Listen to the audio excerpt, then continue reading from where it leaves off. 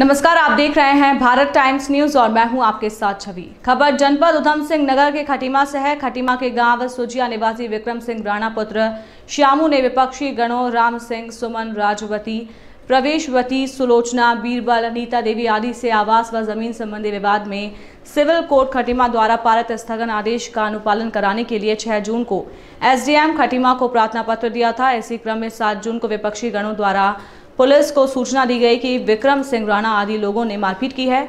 मौके पर पहुंचकर पुलिस द्वारा पीड़ित पक्ष के विक्रम सिंह राणा आदि को पुलिस थाने लाई और कानूनी कार्रवाई करते हुए उनके चालान काट दिए। वहीं पीड़ित पक्ष का आरोप है कि विपक्षी गणों द्वारा कोर्ट के आदेश का पालन नहीं किया जा रहा है, जबकि आदेश में विपक्षी गणों को प्रार्थी के आवासीय मकान पर हस्तक्षेप करने, कब्जा करने मकान तोड़ने, अवधिपूर्ण कार्य करने से रोका गया है। इसके बावजूद विपक्षी गणों द्वारा प्रार्थी व उनके परिवार के साथ आए दिन मारपीट गाली गलौज और ज़बरदस्ती घर से सामान फेंक कर घर खाली करने, सामान में आग लगाने का प्रयास किया जाता रहा है। पीड़ित पक्ष का आरोप है कि पुलिस द्वारा 7 जून को मौके पर पहुंचकर कोर्ट के आदेश का अनुपालन कराने के बजाय पीड़ित पक्ष के ही खिलाफ कार्रवाई कर दी गई और विपक्षी गणों को खुला छोड़ दिया गया।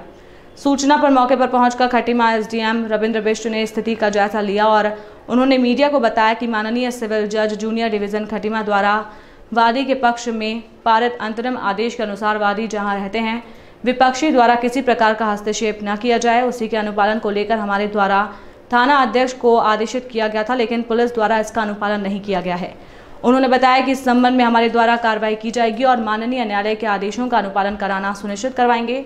वहीं पीड़ित पक्ष की मनीषा ने विपक्षी गणों पर मारपीट, गाली गलौज, घर के सामान में आग लगाने, ज़बरदस्ती घर का सामान बाहर निकालकर बाहर फेंकने के साथ ही पुलिस पर भी कोर्ट के आदेश का पालन न करने का आरोप लगाते हुए न्याय की गुहार लगाई है। कोर्ट ने? देखिए, माननीय सिविल जज जूनियर डिवीज़न खटीमा द्वारा एक आदेश किया गया। इंटरिम ऑर्डर उन्होंने पास किया है, जिसमें उनके द्वारा कहा गया है कि वादी के जो जहाँ पर वो रह रहे हैं, उसमें विपक्षी द्वारा किसी प्रकार से हस्तक्षेप न किया जाए। उसी के अनुपालन हमने थानाध्यक्ष को ये आदेश किया था कि इसका अनुपालन किया जाए। लेकिन अभी संज्ञान में आया कि उनके द्वारा इसका अनुपालन नहीं किया जाए तो इसमें हम कार्रवाई करेंगे उनसे भी हम आंसर पूछेंगे कि क्यों उनके द्वारा ये कार्रवाई की गई। सर सिविल हमारा ये कर्तव्य है कि हम जो हमारे माननीय न्यायालय है उनके आदेशों का अनुपालन करवाएँ वो हम सुनिश्चित करवाएँगे। ये लोग मेरा नाम मनीषा है। हम अपने घर पे रह रहे हैं। ये लोग वो लड़ने के लिए आ रहे हैं हमें घर में नहीं रहने दे रहे हैं। कभी मेरे मेरे बच्चों को डीला उठा के मारते हैं और वो वीडियो बनाते हैं मेरे बच्चे तो उन्हें मारने दौड़ते ही हैं। मेरे बच्चों को भी बहुत खतरा रहने के लिए मेरे पति को और मुझे भी बहुत खतरा रहने के लिए। हमारे लिए कुछ करो। और क्या कहते हैं इस घर में रहते हैं तो हमारा सामान फेंकते हैं और हमें दो परिवार मिलकर हमें मारने के लिए आते हैं। लगता लगते में आग लगा रहे हैं और हमारे सामान फेंक रहे हैं। हम अपने घर पे काम कर रहे थे और पुलिस वाले उन्होंने फ़ोन किया कि मतलब विक्रम ने हमारा सर फोड़ दिया। और वो पुलिस वालों ने आके हमें भी डांटा। हमें डांटा कि मतलब क्यों लड़ रहे हो झगड़ रहे हो ऐसे करके। फिर उठा के ले गए। फिर इसे इसे क्या कहते हैं विक्रम को थाने में मारा दो तीन थप्पड़।